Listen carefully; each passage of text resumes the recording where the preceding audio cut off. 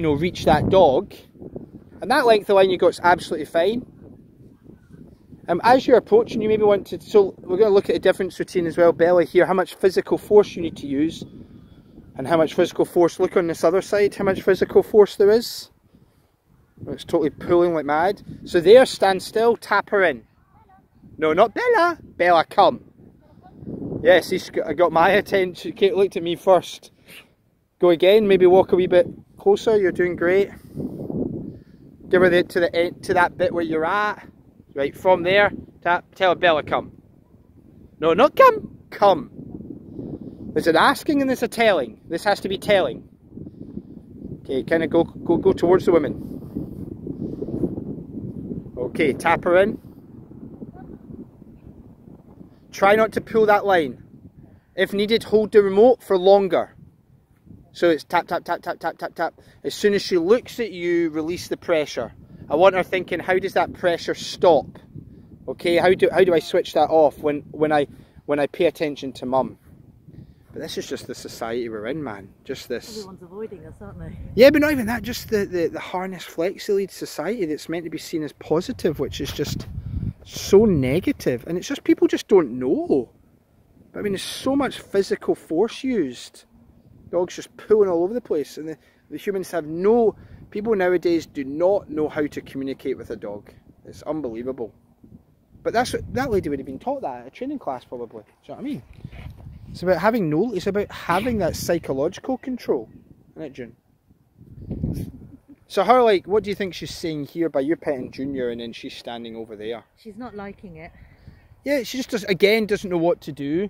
She'd maybe have usually done her habit in the past, which would be come over and barge in between yeah. you or whatever and maybe have a pop at the dog. Like but now. she's she's definitely in training right now. But see how she comes in behind you like that? That's beautiful. Beautiful. But all you would do there is maybe just like good. Good. Uh-huh. And at that tone, it doesn't have to be, oh well done. So as soon as you do, she gets excited you become soft so she then takes has the potential of ta- of leading you need to be the affection but also the leadership do you know what i mean yeah on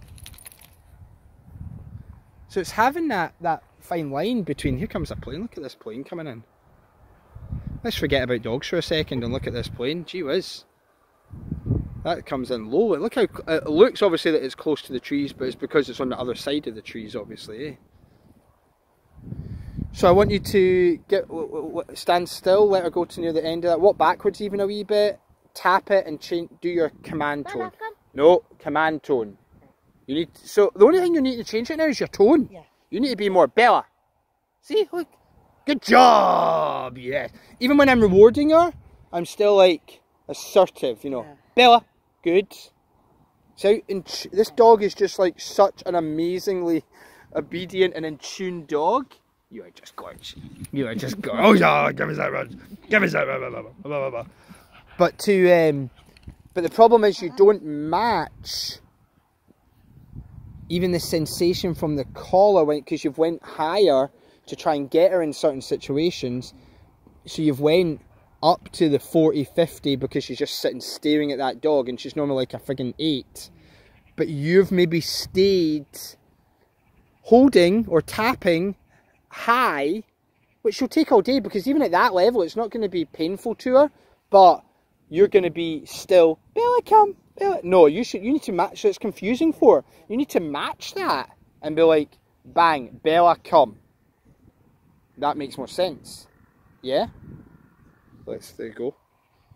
Again, is there a dog in this park that doesn't have a harness on?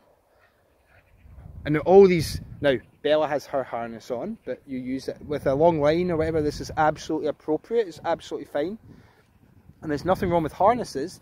But people use harnesses wrong all the time. Every single person we've met today that has a harness on their dog is using it wrong. You know, it's it's to work the dog and to track and pull but what people are using it is as a coping mechanism to control their dog. And it's just the absolute wrong way of using a harness. It makes your relationship with your dog fail because your relationship becomes so physical that some for some reason is seen as positive. And because you're willing to, you have to be physical um, times because that's their language, and you have to, you know, you have to have them on a leash or you have to um, tap them out with a collar. But you're trying to be as little physical as possible. Good job, good job. So it's actually trying to stay, you staying, hey, you, you, Yeah. you, you know. And if you feel that's a bit out of the norm for you, then good, because that means that's where you've been going wrong. If it's not, if that isn't natural to you right now, it means you've been doing it the wrong. Like if, if you have to consciously think, oh yeah, I need to change my tone, then that's where you've been going wrong. So tap her and tone it up. Bella, come. That, yeah, yeah, yeah. And try and resist that pull of the line. Okay? Bella knows what the collar means. You don't need to use the line. Bella, come. Good. Good. Well done. And well, if you were going to yes her, you would have done it the other way round. When she looked, I would have yesed her, and then when she came in, I would have went good. Because the good would have slowed her down. Okay. The yes would have sped her up to come to you, And then the good and then good. Okay. The good would almost be a calming, just, hey, good, shh, calm. Because she gets excited enough for the world. On, on.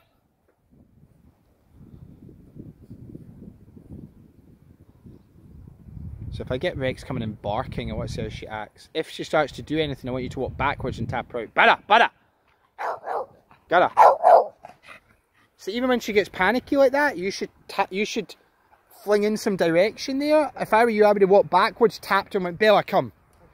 Because she went, oh, what did I do? So I'm going to get them to get excited again, okay? Ready? Bella, come. Yeah, you're saying we ignore that because she, she is uncomfortable with that. She's saying, this is what I want you to do. Okay, come a bit closer. Nice. Oh, there's a buzzer. Get it, get it, get it. Ready? Go, go, go, go. Remember, mark it though as soon as she came. Good. It's just time. No, no, don't give her the touch though. That's that's too soft. Just good. That's what we want. This excitement. Rex Junior. Bada. Bada. Yeah, yeah, yeah, yeah, yeah. That was good. That was good. Come. Shh, done. So, the reason we're getting them to do that is because with them, she's already met them, she's comfortable with them, she doesn't care. We're trying to create what she does with you normally. You know, she gets fixated and stares, and so you're trying to. I'm trying to find that pathway that unlocks her Okay. to come back to you. So what you're doing is you're walking towards a dog, and then she locks on. Uh, you would potentially uh, move sideways or even backwards, not necessarily forwards, sideways or backwards, and hold and Bella come, and then go back forward again. Yeah, try and find an angle that breaks her out of it. Okay, and you go on right now. You go as close as you feel comfortable. Just you walking towards dogs right now, good. And you'll be surprised at how quickly you will yourself go.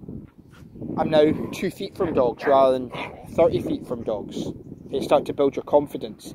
And all you do is the closer you get to build your confidence, you decrease the light, the length of line. Okay? Um, and then ultimately you need to meet the dog. And if you're finding that, there's another, this is at the other side. This is obviously planes coming in, obviously, from different parts of the world, right? Because there's planes coming, that, so there's an, a, runway behind us and there's a runway over here as well. Yeah, Birmingham Airport's just there. Oh no, this is the same one. Yeah, we Yeah, can we're- walk up to it. We just turned, we just changed direction, didn't that's we? it, yeah. I'm all, I'm all turned around. Right, Bella, come on, come on. So let's There we go. go. Yeah, yeah, yeah. She's totally awesome. Good job. Bella, um, what's sad is that you were advised that, you know, because you had one scrummish with a dog that, and you, and she jumped on the dog and you literally, you were vocal and, and she came away is huge. But then to be told she's not allowed back to that dog walker slash trainer is just unbelievable unbelievable. Mean, I would see that as a positive that how you managed to cope with it. But for you to be, and that's what's knocked your confidence, totally knocked your confidence. And then for that trainer slash dog walker, whatever they want to call them, to then say, never let her off the lead, never let her near other dogs. That is just, um, Bella, come, good. That is just unbelievable. This dog is dying to be a social dog. Absolutely dying to be a social dog.